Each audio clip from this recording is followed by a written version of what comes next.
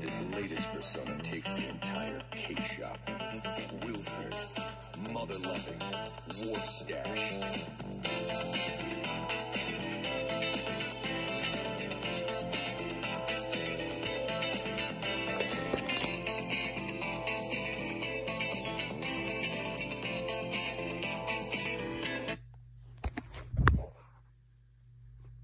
That is weird as hell. That it's just weird as as weird as shit. Like, like I don't even know what to say about this because uh, it's Wilford and Mother Loving Warfstache. Uh,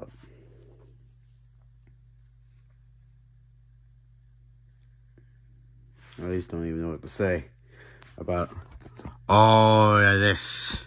I actually don't know what to say about any of this. I about Wilford Mother Living Warfstache. No, I don't have anything to say about this.